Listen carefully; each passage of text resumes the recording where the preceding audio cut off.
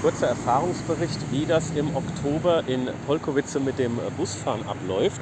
Und zwar äh, sitzt der Busfahrer vorne drin und äh, hat äh, sichtlich keine Maske auf. Er hat äh, ein kleines äh, Band, wo praktisch sein Bereich abgesperrt ist. Ansonsten gibt es keinerlei Aufkleber an den Türen, Ein- oder Ausgängen. Es sind auch keine Sitze abgesperrt, wo man sich nicht hinsetzen darf.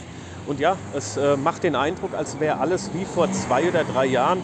Man setzt sich einfach auf seinen Platz. Natürlich lässt man die ältere Dame oder den älteren Herrn auf den Sitzplatz, wenn dieser frei ist. Das machen auch schon die Jungen hier in Polen, die Jugendlichen. Und ja, dann fährt man kostenlos durch die Gegend.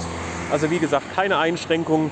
Und äh, da haben jetzt äh, 100 Prozent von den Mitreisenden keine Maske aufgehabt und es fühlte sich auch keiner irgendwie ängstlich, beziehungsweise keiner hatte Berührungsängste.